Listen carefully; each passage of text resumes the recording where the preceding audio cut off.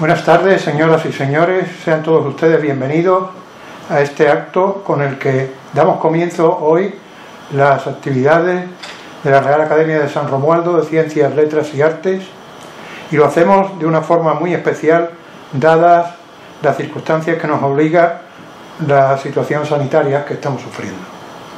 La última cita pública presencial que tuvo Academia fue a principios del mes de marzo pasado y a partir de entonces quedaron suprimidas todas nuestras actividades hasta el día de la fecha. Durante este tiempo y para mantener nuestra presencia en las actividades culturales, hemos repetido vía informática actividades previamente realizadas en cursos anteriores. Creo que han sido muy bien acogidas por nuestra audiencia en la página web de la Academia. Asimismo, hemos llevado a cabo el fallo del premio de cuentos Puente Zuazo y emitido un documental sobre la novela Vete a Madrid de nuestro compañero Juan Mena Coello, que también creo que han tenido muy buena acogida. Para este curso, la Academia no ha considerado posible editar un programa completo de actividades como solemos hacer en años anteriores, dada la incertidumbre de poderlo llevar a cabo. Se ha decidido por el momento realizar nuestras actividades vía telemática sin la participación de personas que tengan que trasladarse desde otras ciudades, sino que serán llevadas a cabo por los propios académicos y por supuesto y debido a ello serán también más reducido el número de estas actividades, lógicamente.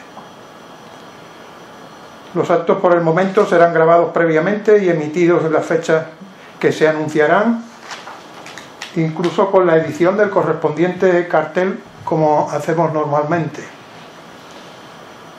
Y también enviaremos las invitaciones vía email con las instrucciones de cómo poder acceder a la emisión. Hasta fin de año tenemos preparado una serie de actividades, como por ejemplo la conferencia inaugural del día de hoy sobre Caravaggio a cargo de don José Manuel Bravo Vila, el día 27 de octubre tendremos una conferencia sobre, sobre lo abstracto y lo figurativo en la pintura de don Ricardo Galán Réjola. El 10 de noviembre una conferencia de doña María Elena Martínez Rodríguez de Lema sobre el templo de Mercat. Y el 24 de noviembre don Juan María García Cubillana de la Cruz hablará sobre aspectos sanitarios de la primera circunnavegación al globo de la que cumplimos 500 años. En diciembre, pues tenemos el pregón de la Navidad, que, es un acto que de momento tenemos pendiente. Eh, en noviembre también el, concierto de Santa Cecilia, que a ver si se puede llevar a cabo. En fin, mm, a partir de enero, por supuesto, a la vista de la situación sanitaria, pues se preparará el programa de actos a seguir. Como ven ustedes, está todo un poco pendiente de la evolución de la situación sanitaria en España y en, nuestra ciudad. Yo espero que el seguimiento de nuestros actos siga siendo mm, a través de nuestra página web acorde con el que hasta ahora ha recibido nuestra academia. Agradezco como siempre el apoyo que tanto desde las instituciones oficiales, Junta de Andalucía, Corporación Municipal y desde muchísimas personas que estamos recibiendo siempre con el objetivo nuestro de mantener viva eh, la, actividad cultural de nuestra ciudad. sobre todo en una situación crítica como la actual, en la que las expresiones públicas de la cultura están pasando mal momento. Por supuesto, nuestras actividades esperamos reanudarlas con normalidad en cuanto las circunstancias lo permitan. Y ya pues comenzaremos nuestro primer acto de este curso. Para ello tiene la palabra la ilustrísima señora doña María Elena Martínez Rodríguez de Lema para dar lectura al acta. Con su permiso. En la sesión de Junta de Gobierno celebrada por esta Academia el pasado 22 de junio de 2020 y recogida en el acta número 354, se acordó que la conferencia inaugural del curso que hoy comienza fuera titulada Caravaggio, padre de la pintura moderna, a cargo del ilustrísimo señor don José Manuel Bravo Vila, profesor de dibujo, pintor y académico de esta, cuyo ingreso tuvo lugar el 22 de octubre de 2019. Muchas gracias. Muchas gracias, doña María Elena Martínez. Tiene la palabra el ilustrísimo señor don José Manuel Bravo Vila para pronunciar su conferencia. Muchas gracias, presidente. Con la venia. Buenas tardes, señores y señoras. Vamos a hablar hoy unas pequeñas pinceladas de, sobre la obra y la vida de Caravaggio. Caravaggio es una persona inabarcable y entonces y su obra más todavía, entonces sería muy complicado tener excesivas pretensiones, solamente unos breves apuntes. Bueno, aquella persona que era joven ya hace mucho tiempo, en 1973, tuvo por lo menos, entre otros, que recibir dos shocks en sus concepciones artístico-religiosas. La primera, cuando se pasó por los cines esta película, Jesus Christ Superstar, una revolución, una película coral, eh, una adaptación de musical de Broadway que Hollywood trajo aquí y, fue un, un, espectáculo sorprendente, cautivador. Y luego si el espectador o el muchacho de aquella época era un poco más cinéfilo y se pasaba de vez en cuando por la Filmoteca Nacional, tuvo que llevarse otro shock al ver la versión de los mismos hechos, la versión de la pasión, que Pier Paolo Pasolini, el director italiano, hizo en el Evangelio según San Mateo. Lo que no sabía el joven de aquella época es que el segundo shock, el impacto que producía una película en la que un desconocido actor catalán como eh, llamado Jesús eh, Enrique Irazoki y los demás protagonistas de la película eran reclutados en los bajos fondos romanos, era que ese shock, ese golpe, no se lo estaba dando exactamente Pier Paolo Pasolini, que era un caravallista convencido, sino que era el largo brazo de Caravaggio el que, con una de sus innovaciones estéticas, que es buscar los modelos entre las clases más populares de la sociedad, el que le estaba propinando ese golpe. Porque Caravaggio es como, para empezar a hablar de él, habría que, evocar esos días que va uno a la playa y bajo un cielo azul y un día sin viento, pues hay unas olas enormes. Las olas, si uno lo sabe, pues se da uno cuenta que proceden, son los restos desechos, a lo mejor, de un temporal que ocurrió a cientos de kilómetros y días pasados en el centro del Atlántico. Pues el acceso a Caravaggio se produce muchas veces así. Es decir, lo encontramos en sus efectos sobre la obra de otros artistas de otro tiempo y de otro lugar antes de acceder a su obra. De hecho, el principal, el principal valedor de Caravaggio en los tiempos modernos, el que lo ha reconstruido, digamos, eh, el profesor italiano Roberto Longhi empezó a investigar sobre él después de visitar una exposición del pintor francés Courbet, un realista del siglo XIX porque esos colores terrosos y ese realismo le sorprendió e intentó buscar el origen de eso. Es decir, dos siglos después se encontró el rastro de Caravaggio.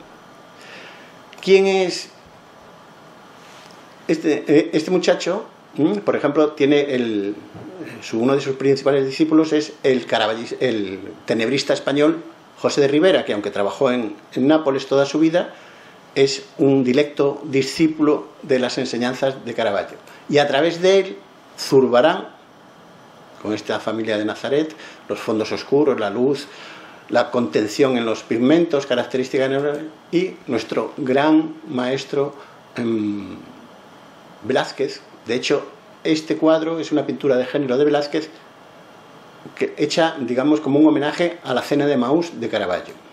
Y a través de los caraballistas de Utrecht, que es un grupo de tres muchachos que se fueron muy jóvenes desde la ciudad flamenca de Utrecht a Roma a estudiar y cuando volvieron, volvieron impregnados de las enseñanzas de Caravaggio, el gran maestro Rembrandt, que nunca pisó Italia, es desde el principio un caraballista convencido, como demuestra este cuadro que es su principal homenaje a la obra de Caravaggio, que es su famosísima Ronda de Noche.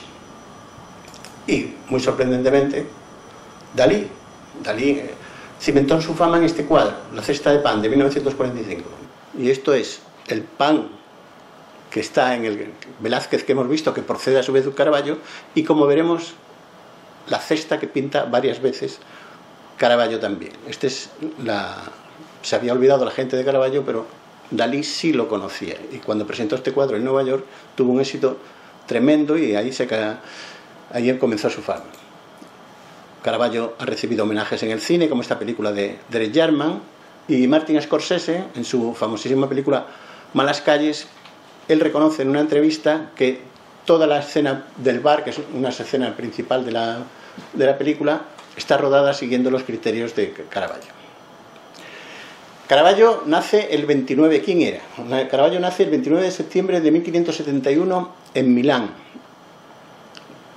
no en Caravaggio, que es una ciudad que, un pequeño pueblo que está a unos 40 kilómetros de distancia, pero en la zona de influencia de Milán.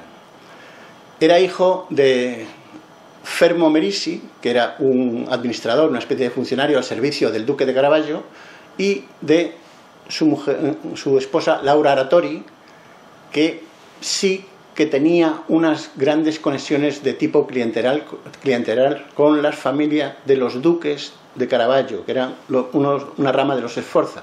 en, tiempos de, en esos tiempos el duque era Francesco Sforza y se había casado con Constanza Colonna, que era la hija predilecta de uno de los comandantes de Lepanto, Marco Antonio Colonna, que luego fue virrey de Nápoles y murió, terminó muriendo al servicio de la monarquía española en Medinaceli. Visto el talento del muchacho, del llamado Michelangelo Merisi, dito Caravaggio, apodado el Caravaggio, que en España se suele decir de Caravaggio, pues se le buscó una una carrera artística y se le puso de aprendiz en la botega, en el pequeño estudio de este pintor, no muy importante, aquí en este autorretrato lo podemos apreciar, la desproporción que hay con la mano y el rostro, que era un manierista de lombardo, pero que tenía como principal virtud que había estudiado en Venecia con Tiziano. Y ese aprendizaje y el, posible o casi seguro viaje de Caravaggio muy jovencito a Venecia, donde quedó prendado de la obra del maestro Giorgione, es en el que Caravaggio, del que Caravaggio extrae su capacidad de pintar técnicamente muy bien. Con 20 años, una vez que se han muerto sus padres, repartido la herencia con sus hermanos, se va a Roma. Esta es una imagen, un plano de Roma sobre 1590 y bueno, en mis notas este capítulo lo tengo titulado Un joven conflictivo, porque Caravaggio era, si hubiera vivido en estos tiempos, no hubiera salido o de la cárcel o del despacho psicológico. busca trabajo y se coloca de ayudante de segundo orden en múltiples pintores, pasa por diversas bodegas, pero empieza una carrera de juerguista y bronquista que le hace ser un asiduo de los juzgados y las cárceles italianas. Estos son hojas del archivo de Estado de la ciudad de Roma, ¿no? un, archivo que se supone que se remonta hasta los tiempos de la República Romana. Y aquí están las múltiples detenciones y juicios de Caravaggio. Aquí por llevar una espada y compás. La siguiente que le tiró un plato de alcachofas a la cabeza a un camarero que se había negado a especificar cuáles de las alcachofas estaban fritas con aceite de oliva y o oh, crimen con mantequilla, que eso es desde luego una razón. Una pelea a espada en la que hiere a un notario por la disputa con, por respecto a los favores de una cortesana llamada Elena, muy amiga de, dejémoslo ahí, de Caravaggio. Y una detención ¿eh? con el capitán de policía que ha puesto un diagrama de las armas que portaba Caravaggio. Portaba la espada para la estocada y el quitapenas o cuchillo para el remate. O sea que iba el muchacho bien armado. No contento con esto, Caravaggio no toleraba rivales y se consideraba desde el principio un gran pintor. De hecho, fue un juicio por difamación por escribir dos poemas, un libelo de dos poemas injuriosos contra Giovanni Baglioni, un pintor al que él despreciaba. Solamente, bueno, no hace falta, solamente el primer verso, sin duda le podemos llamar Juan Testículo, ya te da una idea de la, lírica, que, el tipo de lírica que hay en estos poemas. Lo que pasa es que eso ahí cometió un error grave porque Baglione sería su primer biógrafo y casi todo lo que se conoce en primera instancia de Caravaggio lo escribió él, por lo tanto está virado en su lado en el lado negativo, como por ejemplo en este cuadro del propio Baglione, que es el triunfo del amor divino sobre el amor profano, donde este sátiro horroroso de feo con las orejas puntiagudas y los dientes y los ojos saltones es un retrato de Caravaggio que hizo para ofenderlo lo más posible. Pero va progresando en su carrera en Roma y pasa a trabajar en el estudio de Giuseppe Cesari, que es conocido como el Caballero de Arpino, que este señor ya pinta muy bien. Como ejemplo, este prendimiento es un manierista también, muy complejo, bastante buen pintor, que se atreve con complicadas composiciones lumínicas y sobre todo de muchos personajes. Y como virtud, bueno, tiene dos virtudes para trabajar con Caravaggio. Una que tiene muy mal genio, por lo tanto se llevaría estupendamente con Caravaggio, que lo tenía de sobra, y era un maestro en las relaciones públicas, porque se codeaba con la más exquisita intelectualidad y con todos los cardenales y con el propio Papa. De modo que Caravaggio sube de categoría y empieza a trabajar sobre todo de pintor de género. Pintor de género necesita una pequeña definición. La pintura de género, la primero que emplea la palabra es Diderot. ¿eh? Y se emplea en un contexto que ya se ha olvidado, pero era para determinar qué era el género mayor, que era pintar pinturas de historia o pinturas de historia sagrada o de literatura clásica, Troya, eh, la creación del hombre, eh, ese tipo de cosas, y el género menor que era todo lo demás, es decir, retratos, bodegones, paisajes, cuadros de flores. La pintura de género tiene un éxito muy importante porque, sobre todo en Holanda, en los países protestantes se deja de pintar imágenes y entonces la gente, este es un cuadro de Vincenzo Campi, que precisamente viene de estudiar en, los Países Bajos, y es Cristo en casa de Marta y María, que es esta, esta pequeña escena que hay ahí al fondo, atrás, detrás del pollo, y lo que se pretende aquí es presentar la riqueza de la despensa del poseedor de la casa. La pintura de género tiene muchísimo éxito porque es accesible a un mercado de personas que no tienen tanto dinero como la alta aristocracia, es decir, comerciantes, generales del ejército, jueces. Una, naciente clase media de la edad moderna es cliente de mm, este tipo de pintura. Y tiene otra ventaja para los pintores, que es que la pintura de género se hace sin encargo previo. El pintor se pone, pone sus frutas o sus, o sus perdices y las copia y las pinta lo mejor que puede y si lo vende bien y si no repinta el cuadro, pero no tiene normalmente que pleitear con las, eh, con el que ha encargado el cuadro que va imponiendo sus condiciones.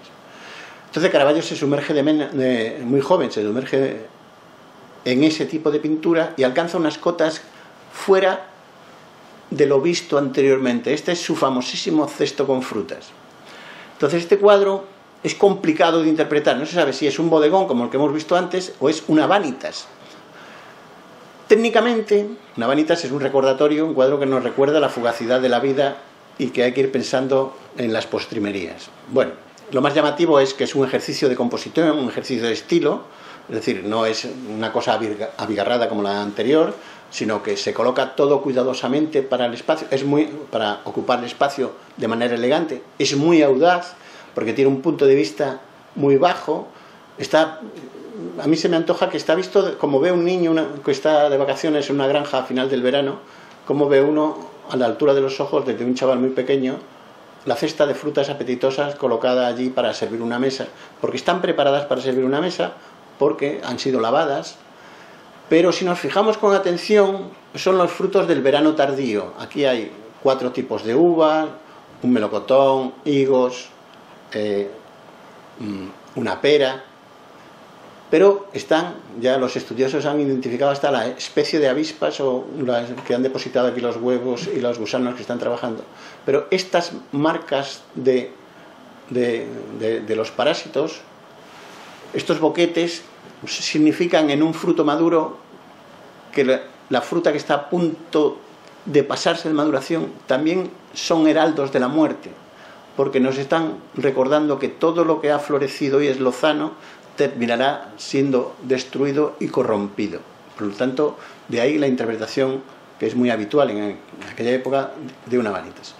Como especialista en pintura de género, es de primera línea, tiene mucho éxito con diversos tipos de cuadros, por ejemplo este que es la, trampa de las cartas, ¿no? o sea, el, juego de cartas, el tramposo, el amigo de los está mirando, hace una señal evidente y este saca la carta adecuada ¿eh? y se, en fin, la representación de los muchachos. Y, si tuviéramos, digamos, más tiempo, podríamos ver todas las de veces que este cuadro ha sido repetido a lo largo de la historia por Baltus e incluso por Cézanne, que para sus jugadores de cartas se ha inspirado directamente en estas construcciones monumentales de los personajes.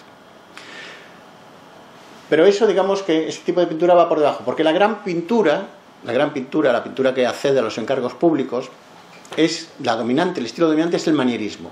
¿El manierismo qué es? El manierismo es el retorcimiento intelectual para gusto de las clases más ilustradas y más refinadas de la sociedad de los hallazgos del Renacimiento. Aquí tenemos dos cuadros, uno manierista de Parmigianino y otro barroco pleno y realista de Caravaggio. Para comparar, es el mismo episodio, la caída de San Pablo, camino de Damasco.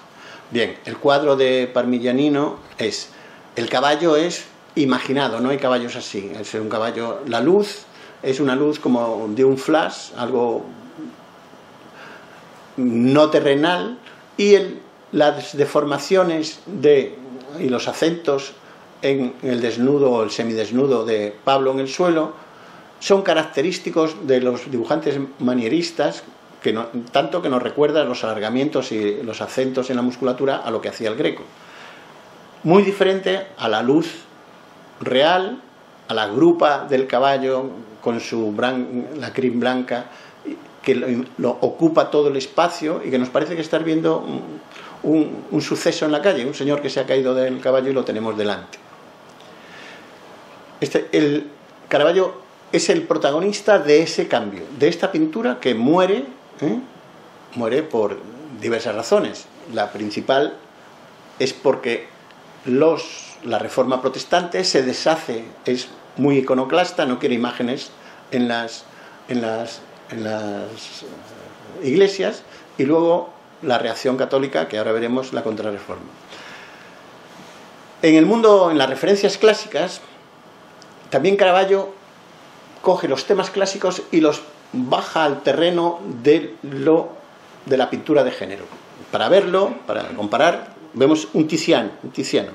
Baco y Ariadna. Baco ha visto a Ariadna, se enamora de ella y se baja del carro volando como es un dios. Esto es un cuadro pintado para la orientalizante, riquísima e casi e independiente, serenísima República de Venecia. Entonces es una exhibición de lujo, conocimiento, dominio del humanismo. Está pintado con carmines en la capa del, de Baco, los que tiran de la, los animales que tiran de la, de la carroza son guepardos y el espléndido e inolvidable cielo pintado en azul ultramar traído directamente de Afganistán.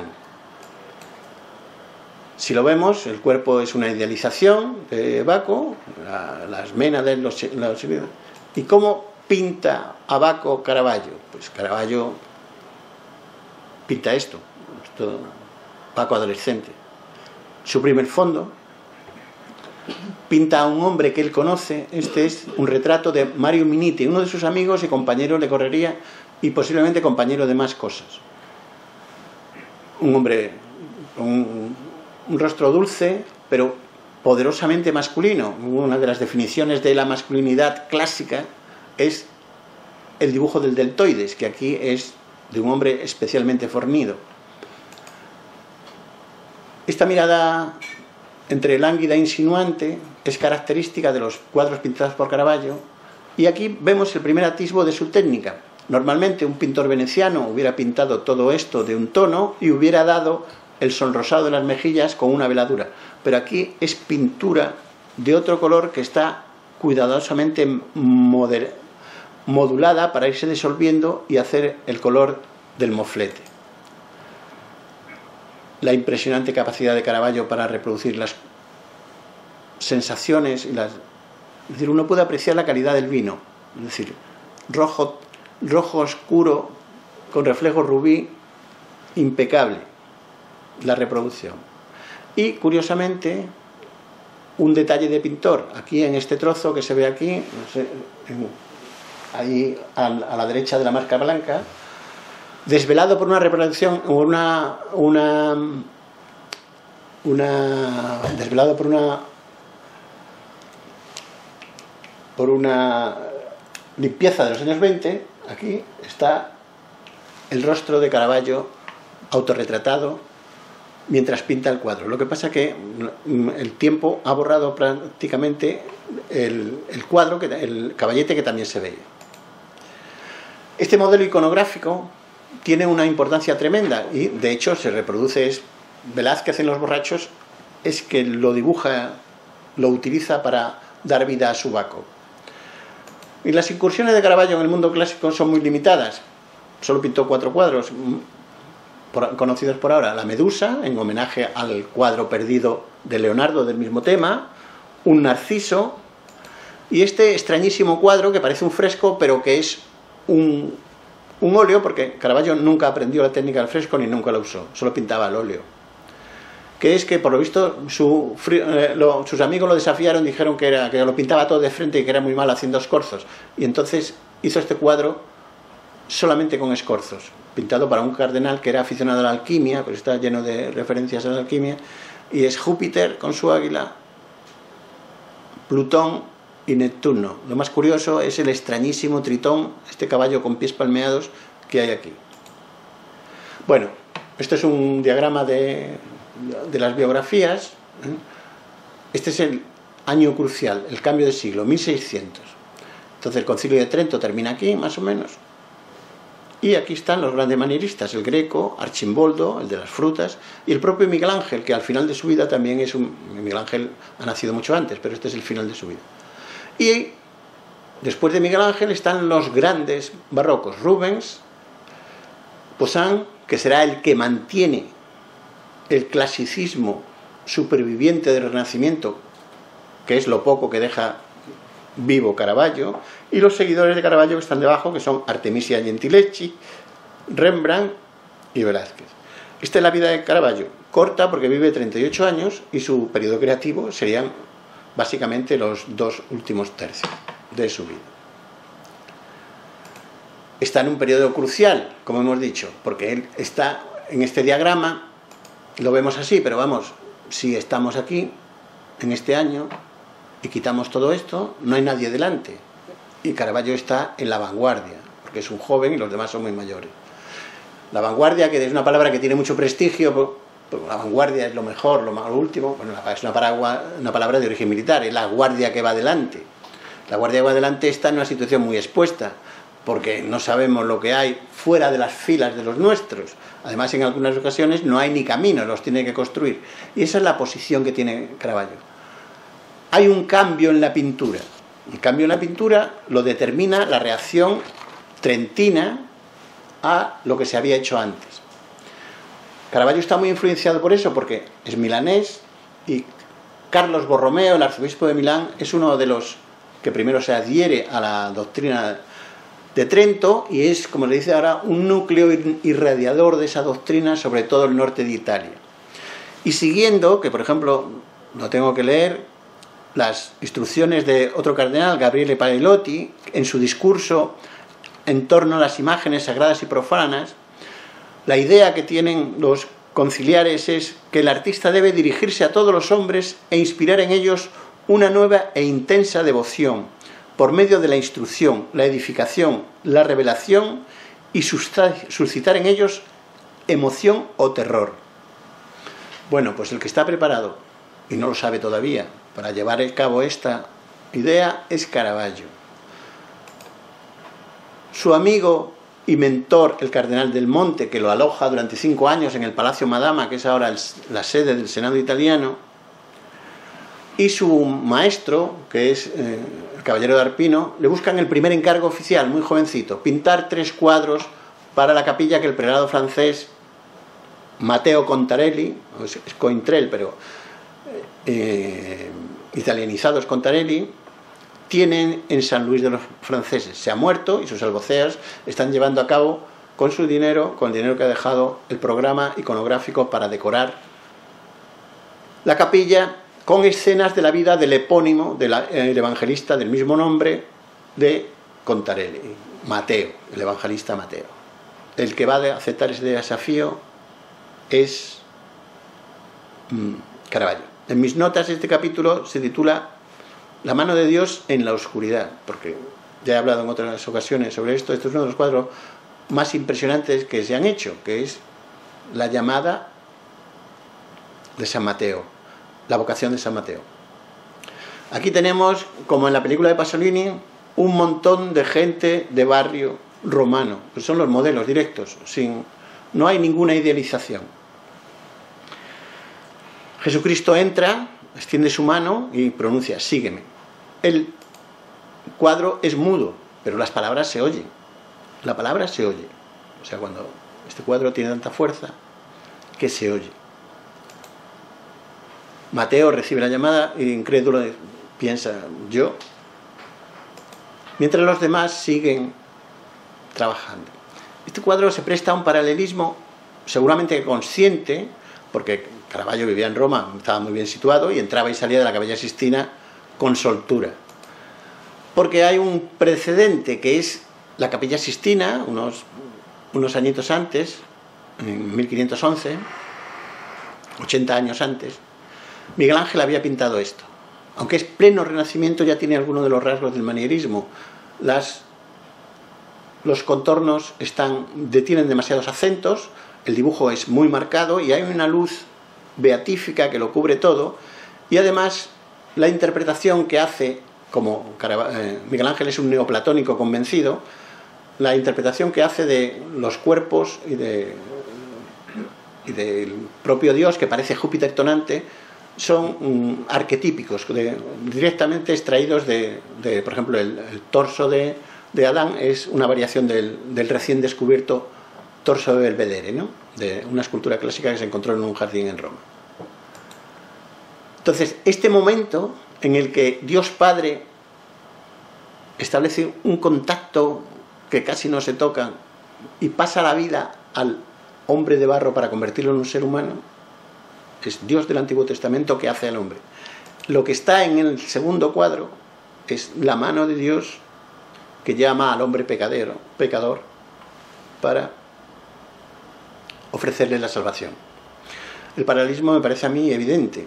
Lo que pasa es que solamente un genio de la composición y un maestro absoluto del dibujo como Caravaggio sería capaz de dibujar una mano así, con esta fuerza expresiva, que yo creo que hay incluso una raíz del expresionismo. Y si tenemos un detalle que ahora se pueden encontrar eh, reproducciones de mucha calidad, vemos la manera característica de resolver las carnaciones de Caravaggio con pinceladas indistinguibles unas de otras. Bueno, el encargo sigue, pero no sin problemas. Caravaggio es famoso en la historia porque le devolvieron como cuatro o cinco cuadros. Este es el primero que le devuelven, la primera, el primer gran disgusto. Pinta la inspiración de San Mateo. Doctrinalmente, los evangelistas no escriben ellos los evangelios, sino que reciben la inspiración divina, mediante, representada aquí mediante un ángel. Hizo este cuadro, el de, la izquierda. Este cuadro está destruido y las reproducciones son malísimas, son de las primeras Agfacron que se hicieron, que antes, eh, ya habían hecho los alemanes antes de que las bombas cayeran sobre Berlín y se destruyeran, destruyeran el cuadro. Bien, el cuadro rechazado. Y esta es la nueva versión, la que está a la derecha, con este ángel volando que tiene el gesto característico de una enumeración, mientras atentamente sigue Mateo el, lo que le está diciendo. El ángel, ¿por qué ha sido devuelto? ¿Por qué fue rechazado? Primer detalle, los pies grandes de campesinos sucios en primer término que quedaban colocados una vez en, la, en, la, en, la capilla a la altura de los ojos del espectador. Muchas culturas se considera que la planta del pie es bastante insultante. Entonces, eso no fue bien recibido. No fue bien recibido la cercanía entre un hombre maduro y un ángel tan guapo. Y además, no fue bien recibido el gesto por el que el ángel guiaba la mano físicamente, como si fuera incluso capaz de escribir. Y lo que es peor, aparte del pequeño detalle de que no era muy original, porque está hecho, la, de la izquierda es un dibujo del mismo tema de Simone Peterzano, su maestro, es que, aquí se ve un poco mejor, es que el texto está en hebreo. Y entonces ya en aquella época se cuestionaba que los evangelios estuvieran originalmente escritos, que las versiones más antiguas de los evangelios fueran en hebreo, cuando parece que son en griego. Entonces, en la siguiente versión definitiva, el texto no se lee, ¿eh? no se puede leer. Se lee en, la anterior se lee incluso el pasaje anterior, como en otros cuadros de Caravaggio que no he puesto, pero que se puede leer las partituras.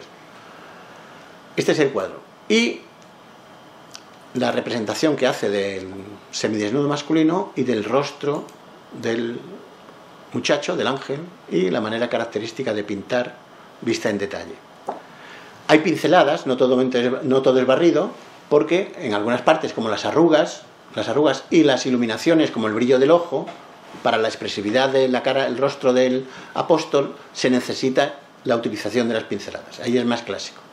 Pero en general, con una paleta muy limitada, pinta por grandes masas de color arrastrado. Y el tercer y último cuadro es el martirio de San Mateo. Esto es ya una coreografía como si fuera un ballet, complicadísimo. Hay 13 personas ahí iluminadas por una luz hiriente que, lo, que divide la luz y eh, la parte iluminada y la parte sombría con una arista muy nítida. Este cuadro es, el primero que se empezó y el último que se terminó de los tres, porque le dio muchos problemas. Está resuelto, hay un verdugo que aguanta la mano del hombre caído de San Mateo, ya ha recibido un espadazo, posiblemente de este señor que está aquí a la izquierda con el sombrero de plumas, y el verdugo va a rematarlo. Del cuerpo del apóstol brota la sangre, un chorro de sangre, que cae en esta pila bautismal, que debe interpretarse eso como un bautismo de sangre para los cristianos venideros. Y el gesto, el gesto, que es muy importante este gesto, porque ahora todos conocemos estos gestos, porque solo tienes que ponerte un rato en internet a ver vídeos y ves, puedes ver cuál. Pero este gesto es de una naturalidad, es el gesto característico de un hombre que ha derribado a otro en un acto de violencia. Y cuando ya lo tiene vencido e inerme, va a rematarlo y el que levanta el brazo hace el gesto de defensa inútil del malherido, que no hace más que estimular la furia del atacante. Es decir, esta escena Caravaggio la ha visto, la ha visto en las calles de Roma. Pero al levantar la mano, al levantarla, el ángel que está aquí le da, ofrece la palma del martirio. El cuadro tiene su simbología compleja. Es muy interesante fijarse en cómo, con dos tonos y un pequeño sombreado en las orejas y en la mejilla, solamente en la luz y el color, cómo es capaz Caravaggio de hacer volver a la vida un torso masculino un hombre muy fuerte, con un poquito de panículo adiposo, está bien alimentado, pero como la sombra, sobre todo la sombra del pectoral, la sombra del bíceps y de los músculos del antebrazo, está hecho como esa nube que si te equivocas un poco en los términos de las fronteras, no es creíble el volumen del cuerpo. Él lo hace sin fallo el contraste brutal de la hoja de la espada con la carne, el rostro del que está muriendo, el gesto de horror del muchacho. ¿Cómo hacía esto? Ya hemos mencionado así por encima, pero ¿cómo pinta realmente Caravaggio? Primero, este es uno de sus cuadros más famosos. Muchacho mordido por una lagartija. Es una pintura de género con una intención evidente, ¿no? una intención erótica evidente. Bien. ¿Cómo está pintado esto? Bien. Caravaggio es un innovador técnico. Tiene, pinta la manera veneciana, pero con variaciones. La primera variación es esta línea negra. Esta línea negra que contornea la línea negra de aquí. Esta línea negra, se ve bien aquí. Y esta sombra. Ahí no hay pintura. Es el color del fondo. Caravaggio ha cogido el lienzo y ha hecho una mezcla de calcita y colores pardos y ha dado un tono sombra oscuro que es el tono medio de todo el cuadro. Cuando en el siglo XX se inventaron los fotómetros, la casa Kodak, que es la primera construcción, tuvo que tomar una decisión crucial.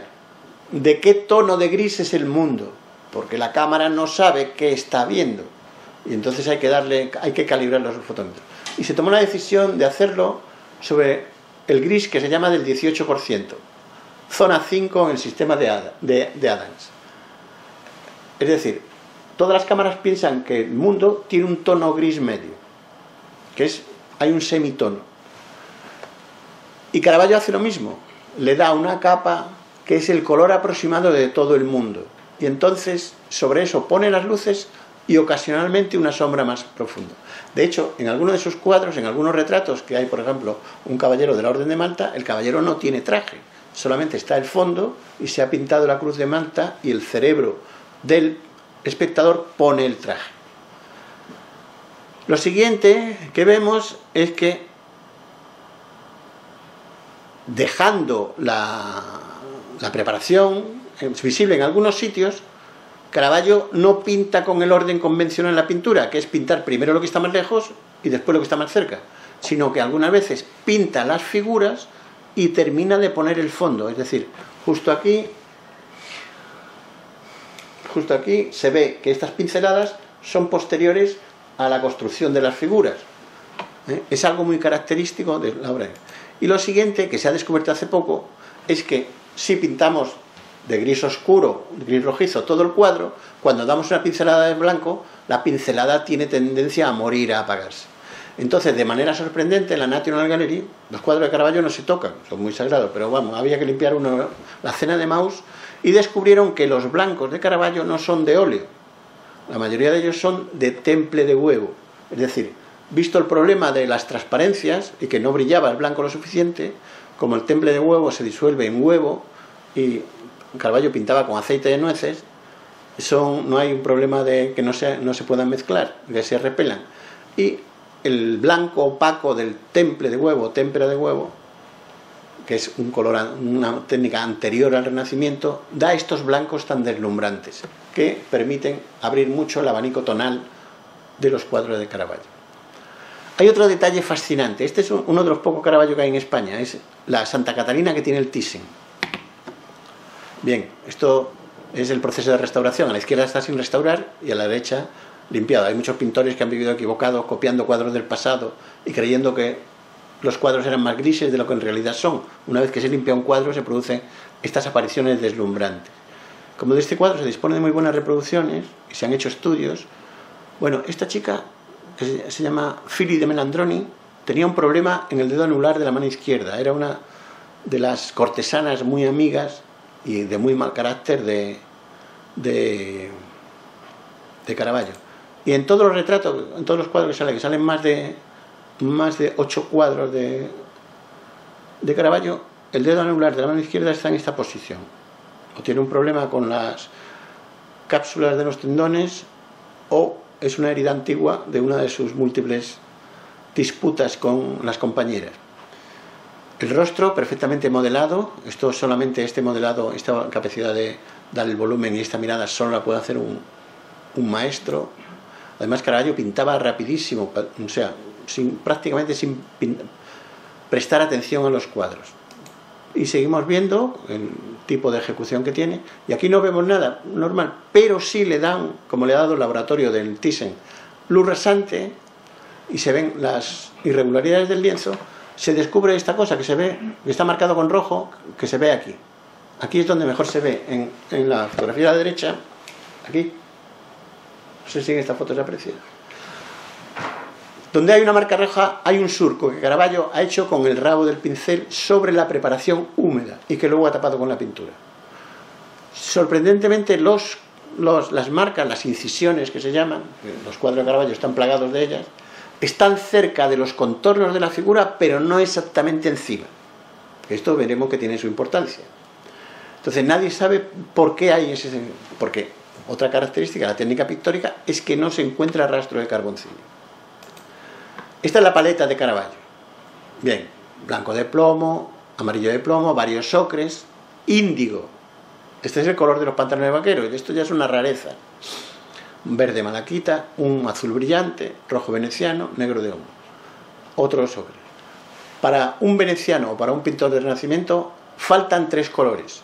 El vermellón, que efectivamente lo utiliza de vez en cuando, pero no utiliza nunca ni el carmín de Granza ni el azul ultramar.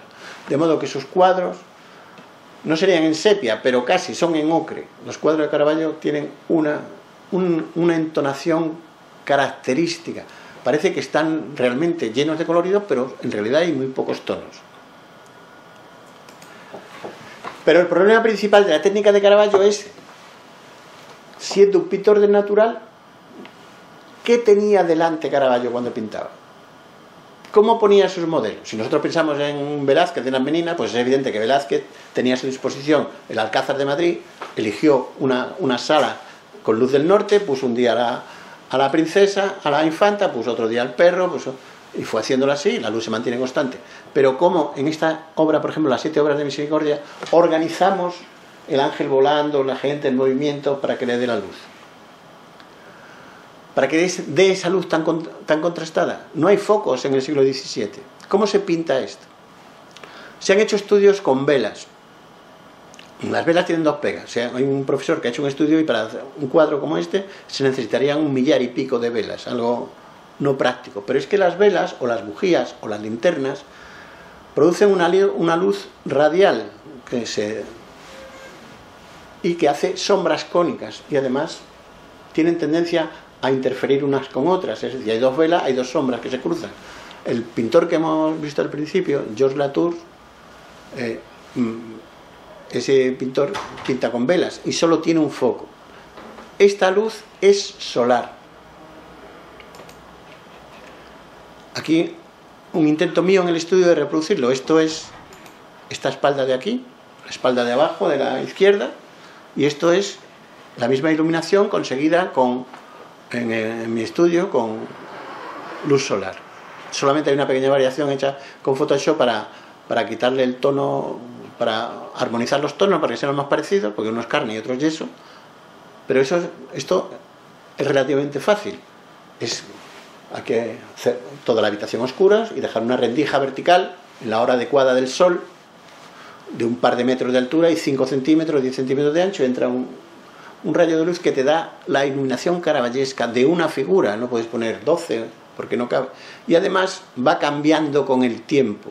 Es decir, que la ventana pictórica de Caravaggio tendría poco tiempo de utilización, unas horas al día, y no todos los días, los días nublados no funcionan. Entonces, esas pegas han llevado, ¿eh? ¿cómo se consigue? Esto es pierna de modelo en las mismas condiciones, fotografía, se puede obtener. Pero, ¿qué es lo que hacía Caravaggio? Utilizaba espejos, utilizaba, hay un famosísimo libro que es, que, un libro muy controvertido, porque está escrito por Hodney y por un profesor de la Universidad de Arizona que se llama Falco, en el que establecen la que se denomina tesis Hodney-Falco. La tesis Hodney-Falco es en los estudios de los pintores antiguos había más aparatos ópticos de los que comúnmente se acepta. Eso que parece así muy descabellado, tiene sus visos de realidad, porque por ejemplo en el impresionismo se pensaba antes que los impresionistas se inspiraban en la fotografía. Se inspiraban en la fotografía porque no habíamos encontrado los negativos o la, o la foto de la que se copió el cuadro no estaba en el estudio del cuadro, pero investigaciones posteriores han ido descifrando que hay muchos más cuadros de los que se pensaba que proceden directamente, impresionistas, de una fotografía.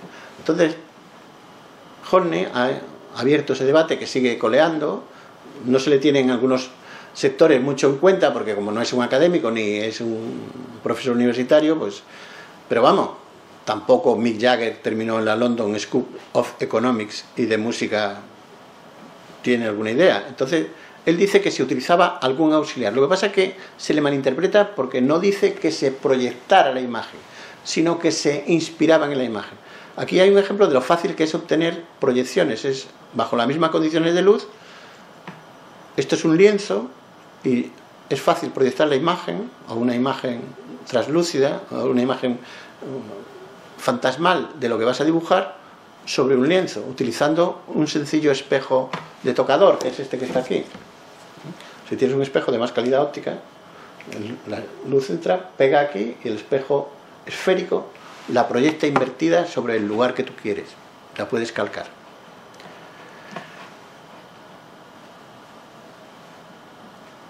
Eso se apoya en algunas cosas extrañas, unas cosas que conviene ver en la, pintura, por ejemplo, de Caravaggio y de otros pintores.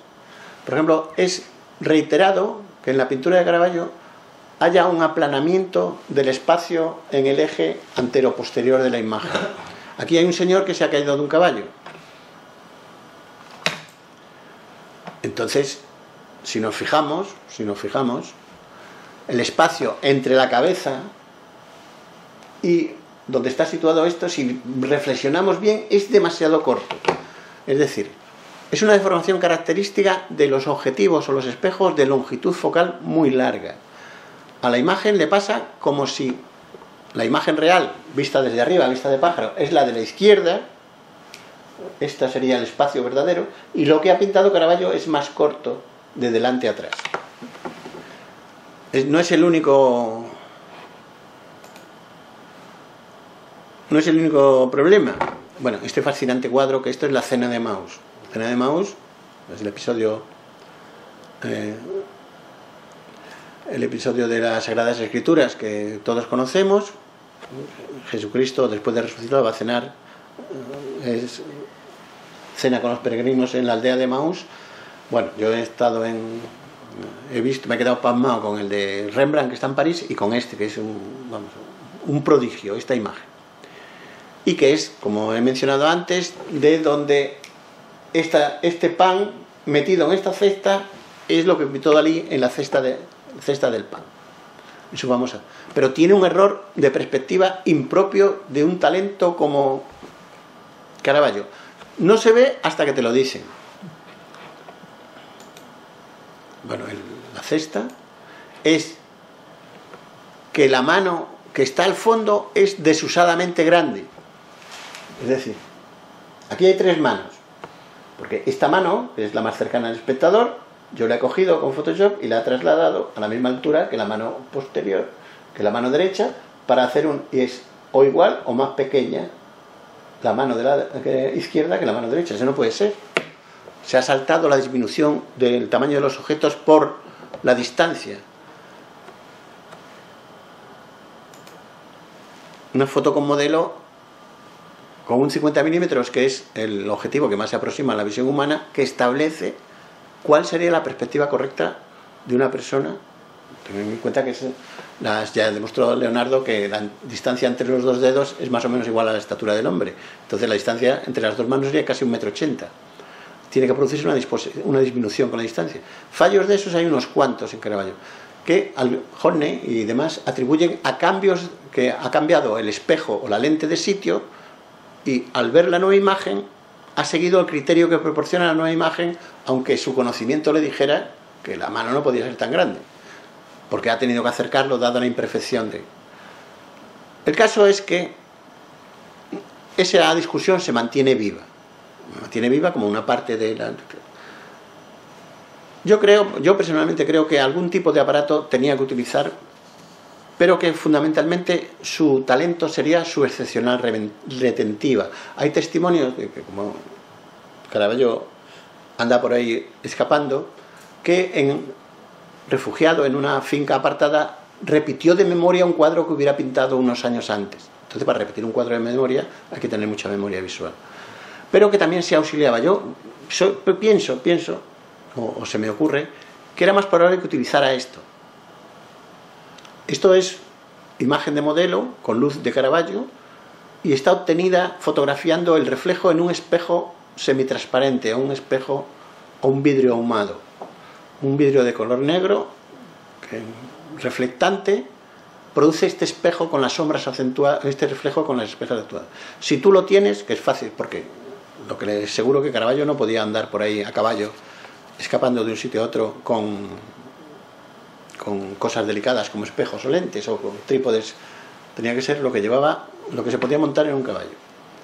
Entonces, es muy probable que utilizara algún. De hecho, cuando se hizo inventario después de su muerte de sus propiedades, había un espejo. Lo único que había extraño en su, en su estudio. Lo que pasa es que el mal carácter de Caravaggio terminó marcando su vida y su ruina. En un partido de Palacorda, el, predecesor del tenis, tuvo una discusión con Ranuccio Tomassoni por un punto, que no estaba claro si era, había pisado la raya o no. Pero bueno, lo que estaba detrás es que se discutían por mujeres, y entonces por una mujer. Entonces Ranuccio decidió aplicarle el castigo de los bajos fondos italianos a, a Espada, a Caravaggio, que era castrarlo. Pero Caravaggio no estaba de acuerdo, se defendió e intentó hacer lo propio con Ranuccio, con tan mala fortuna que no dio donde apuntaba, sino en la femoral y lo mató. Este es un dibujo mío reflejando la escena de la estocada mortal de Caravaggio. Como había matado a alguien en un duelo, en una pelea, condena de muerte automática de la corte papal y tuvo que salir esa misma noche herido huyendo de Roma. Entonces, después de deambular por Palermo, Sicilia, por Sicilia, eh, Nápoles, periodo oscuro, encontró que la manera para redimirse era congraciarse de nuevo con el papado haciendo un acto de contrición y expiación. Y no encontró mejor solución, aconsejado por los asesores Colonna, que le pusieron una galera a su disposición, que es hacerse caballero de la Orden de Malta. Es decir, no se sabe si con antelación o a posteriori, él se embarcó para, con esa intención, se embarcó para Malta, terminó, le hizo un prodigioso retrato al maestre de la Orden de Malta, que es Alof de Virnacourt, que es este, este retrato en tonos pardos y rojos, que tiene una categoría pictórica igual que los de Carlos V ejecutados por Tiziano o los Velázquez, un retrato impresionante, en el, en el que coquetamente la sombra de la cara de Bignacur tapa la verruga que tenía en este lado de la nariz, que se ve en otros retratos, y le cae también que empieza el proceso, se escribe al Papa y el Papa está dispuesto a permitir que Caravaggio sea nombrado caballero de la Orden de Malta por motivo de mérito. Entonces se produce el nombramiento, es ordenado fraile de fraile guerrero y pinta a modo de dato este cuadro que es otro de los cuadros fascinantes sobre el dominio de la luz, de la composición, del desnudo y de la violencia de Caravaggio. El patrón de la Orden de Malta es San Juan Bautista y entonces esto es la ejecución de San Juan Bautista, la decapitación. Entonces, un espacio enorme en la cárcel, con un aire transparente, una luz que la llena todo, los dos presos que contemplan el espectáculo, el impresionante desnudo del verdugo, el alcaide que da las órdenes, la mujer que llora y como siempre una mujer es la que no se sabe si, si en esta escena ejecuta por caridad o por de qué lado está, pero con el gesto característico de una mujer que intenta a lo mejor paliar o dignificar la muerte, va a terminar la cabeza en la bandeja que ella se apresta a poner. El golpe de la espada no ha sido suficiente, la cabeza ha quedado sujeta por los tendones correspondientes y el verdugo, con la espada en el suelo que está aquí, desenvaina el cuchillo para terminar la labor. Lo más impresionante, después de todo esto, es que Caravaggio ha cogido y con una de las raras veces que utiliza el carmín para hacer la sangre, este es el carmín, la sangre, firma aquí F. Michelangelo con un acto de, no sé, de, de expiación, ¿no? porque la F es Fray Michelangelo, que ya ha sido nombrado fraile. Bueno, ya está camino de ser perdonado, pero antes de un mes se va de juerga con sus amigos, sus nuevos amigos, los caballeros de Malta, y una noche la cosa termina mal y terminan dándole un espadazo a un caballero de justicia de la propia Orden de Malta, que además era aristócrata. Al castillo de San Angelo, no al de Roma, al de, al de Malta, encarcelado. Caravaggio era muy hábil, con el pincel y con la espada, y por lo visto con la lima, porque a las pocas semanas se había fugado. Bueno, exactamente no fue así. O sea, sobornó a alguien que, o algún amigo, le abrió la puerta y él parece ser que tuvo que tirarse desde un altísimo acantilado para alcanzar una embarcación, un falucho que lo estaba esperando y lo llevó a Nápoles.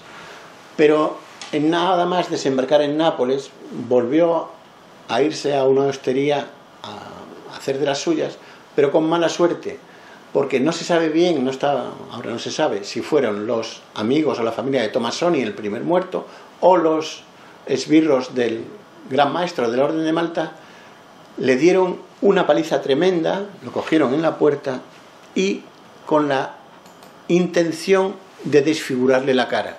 Le rajaron la cara y un castigo mafioso que era cortarle la cara con un cuchillo para que terminara deshacer su atractivo y sus ganas de ligar. Entonces, bueno, paso no me da tiempo, o sea, para no ver los cuadros que él pinta, por ejemplo, todos los cuadros. Pinta unos 70, pero La incredulidad de Santo Tomás, Judith y Holofernes, este, que es el prendimiento de Jesucristo, la obra de Caravaggio siempre tiene algún lío. Este cuadro lleva más de 100 años en el comedor de los jesuitas de Dublín y nadie sabía que era un Caravaggio.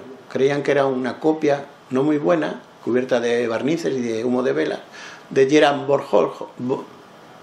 von Honhorst, uno de los caraballistas de Utrecht, Gerardo de la Noche apodado. Y es una obra maestra de Caravaggio. Alguien se fijó más detalladamente, unos estudiantes que pasaron por allí, pero si esto es un Caravaggio, y ahora forma parte de las colecciones. El brillo del acero y los gestos de los esbirros que detienen a, a, a nuestro Señor, el beso de Pedro y sobre todo otro autorretrato de Caravaggio que hay aquí. Otro autorretrato. El rostro de Caravaggio lo conocemos muy bien porque se hizo como 10 autorretratos en cada una de las... Este otro es otro cuadro de Caravaggio con leyenda, la Natividad con San Francisco y San Lorenzo. Este es el único cuadro que pintó en su huida en Palermo, y ha sido robado por la mafia hace unos 10 años, nunca más se le ha vuelto a ver. No se sabe si está destruido, comido por la humedad, vendido a trozos a diversos antiguarios o presidiendo el oratorio privado de un mafioso. No hay rastro de él. Encargo de la mafia. Bueno, cuatro cuadros para terminar nada más, de representativos de la manera de pintar. Este impresionante desnudo que es este Capricornio o se supone que es San Juan, San Juan Bautista. Pero no está muy claro porque no hay ninguna cruz por ningún lado.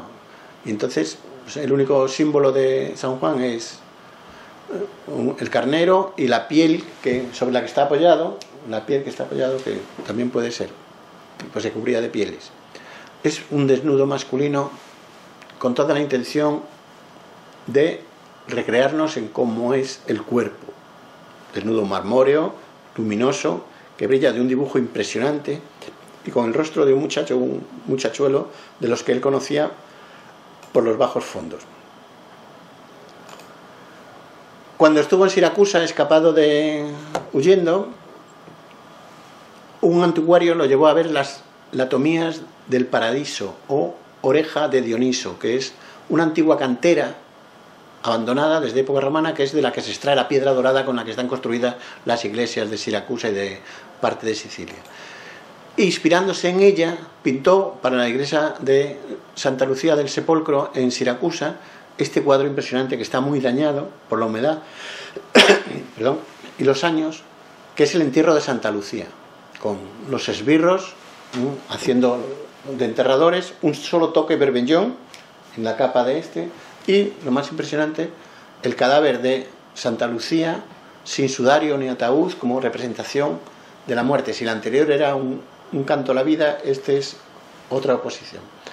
Otro de los cuadros rechazados, sí, bueno, todos aquellos que paséis por el Louvre, después de ver el Leonardo que hay allí en Santa Ana, avanzando unos metros, está este cuadro que mide más de cuatro metros, que es La muerte de la Virgen, que es otro de los cuadros que le rechazaron sin piedad. Era para Santa María de la Escala en Roma y los carmelitas, nada más verlo, lo echaron lo repudiaron y lo sustituyeron por este otro mucho más convencional. Ahí hay una serie de problemas teológicos en la representación sobre si la muerte de la Virgen, si la ascensión de la Virgen, pero lo impactante es que por lo visto en un momento más Caravaggio de lo que es habitual en él, el retrato de la persona muerta es de una ahogada en el Tíber, que él cogió y entonces el cadáver está ya con el vientre empezando a hincharse y con todos los gestos los, de alguien que acaba de fallecer. Entonces es un cuadro muy interesante para ver cómo Caravaggio decide pintar solo lo esencial y lo demás no lo tenemos que imaginar. El, traje de la muchacha, que la plañidera, está, que está llorando, es casi no está hecho. el rechazo del cuadro por prosaico es bastante discutible porque el cuadro es una representación del dolor humano y de lo que sienten los deudos de los que pierde a algún familiar, alguien en el que te es cercano, de una intensidad tal que yo creo que refleja un verdadero sentimiento religioso. Y para terminar, dos versiones del mismo cuadro. La flagelación de Cristo, este que es casi expresionista, el, desnudo masculino como expresión, si vemos el, primero que hemos visto, que es mm, tiene tintes digamos, sensuales, este es solamente el dolor. ¿eh? El hombre fuerte, maduro, que está constreñido por las fuerzas que lo están atando a la columna y lo están golpeando, y el rostro que se refleja el sufrimiento. Pero esta es la versión no, no más buena, la versión más buena es esta, esta flagelación. Esta es un prodigio de originalidad en la composición.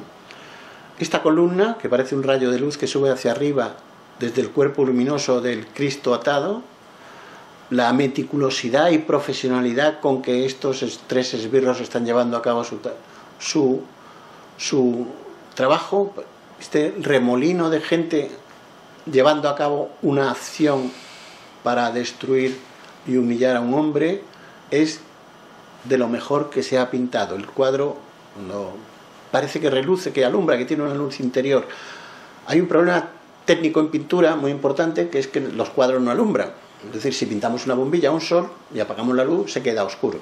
Entonces, que parezca que emiten luz es un prodigio técnico. Es decir, cuando estás delante de un cuadro y el, el equilibrio entre los distintos tonos hace que parezca que esto es más claro y más brillante que lo que alrededor, es una cosa que solo está reservada a la gente más dotada.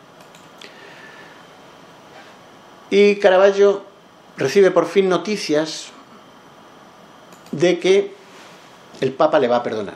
Entonces saca un pasaje de un barco, se embarca hacia Roma, hacia un puerto que está al norte, que se llama Palo, con tres cuadros para regalar al Papa.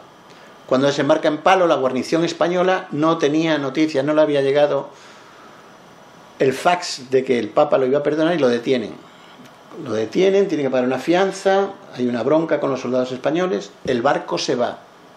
Y entonces, cuando por fin lo sueltan, el barco se ha ido con sus cuadros a bordo. Decide alquilar un caballo y hacen en un día el trayecto que se tarda tres días normalmente para llegar al próximo puerto, que es donde va a llegar el falucho con sus cuadros para recuperarlo, que es Porto del Cole. Pero al llegar a la playa de Porto del Cole, cae derrumbado y desfallece con fiebre. Lo llevan a un hospicio y muere el 18 de julio de 1610. Los estudios han dicho que se han hecho sobre el esqueleto que se supone que es suyo, que han sido publicados en el Lancet, dice que ha muerto por Staphylococcus aureus, no por sífilis ni por intoxicación de plomo, sino una, una herida de espada antigua se le había reinfectado y había acabado con él. Fue enterrado una fosa común, pero por pruebas de ADN con sus descendientes laterales de Caravaggio se, se supone que está eh, identificado. Y su obra se dispersa y, su, y se olvida. Y la figura de Caravaggio, como la de Vermeer el Greco, desaparece dos siglos hasta que empieza su recuperación sobre 1910. Voy a terminar con una cosa que tengo que leer, porque no me la sé de memoria, pero la tengo que leer. Y hasta aquí estas pequeñas notas mías sobre el maestro Michelangelo Merisi Dito Caravaggio, maestro de la luz y de la oscuridad, creador del barroco, campeón de la contrarreforma, genial pintor del hombre, altivo y vividor, valiente y homicida, caballero de la soberana orden de Malta, que alcanzó la gloria para luego iniciar una caída que sólo la muerte podía detener. Padre de la pintura moderna, sin duda. Velázquez y Rembrandt están en deuda con él. Los pardos personajes de Courbet han sido antes sus amigos. La luz, la luz natural entra en la pintura de su mano y rebrotará en el impresionismo. Él abre paso al patos del barroco, con toda su violencia y su crueldad, que resurgirá en las corrientes del expresionismo y sobre todo, Caravaggio es el prototipo del creador genial que es impulsado por una fuerza tan poderosa que acabará destruyéndolo, mientras crea una obra inmortal. Ya está, muchas gracias.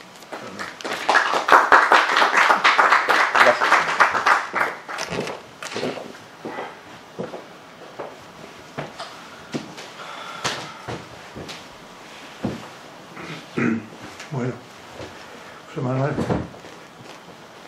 muchas gracias por esta magnífica exposición sobre la figura de Caravaggio.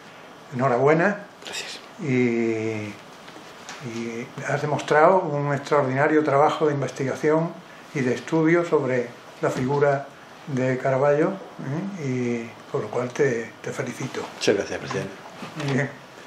Pues nada más. El próximo acto de la academia pues será el día 27 de, de octubre. Tengo aquí. 27 de octubre, la conferencia sobre figu- figurativo y abstracto, lo figurativo y lo abstracto a cargo de nuestro compañero don Ricardo Galán Urréjola. Muchas gracias a todos ustedes por la atención que nos prestan y espero que continúen eh, en contacto con, con nuestras emisiones. Muchas gracias.